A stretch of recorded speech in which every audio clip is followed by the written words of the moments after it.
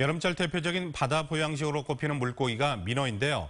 요즘 남녘 바다는 여름철 최고 어종인 민어를 잡으려는 낚싯배들이 몰려 장관을 연출하고 있습니다. 박영웅 기자가 전해드립니다.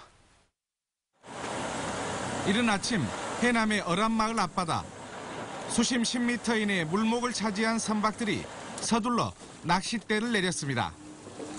기다리는 입질 손님은 짜릿한 손맛의 민어입니다. 순간 손맛인데 대단해요. 그 파워는. 말로 감히 할 수가 없죠. 미끼는 주로 낙지 다리와 갯지렁이 그리고 생새우 통치로 불리는 4, 50cm 크기의 민어들이 주로 잡히지만 1m급의 대형 민어들도 어렵지 않게 잡고 있습니다.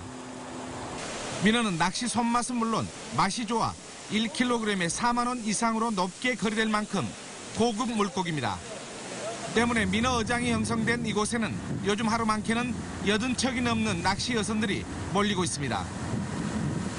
안것보다 쑥것이 더 맛있고 더 맛있는 건 4kg에서 5kg짜리 맛있어요.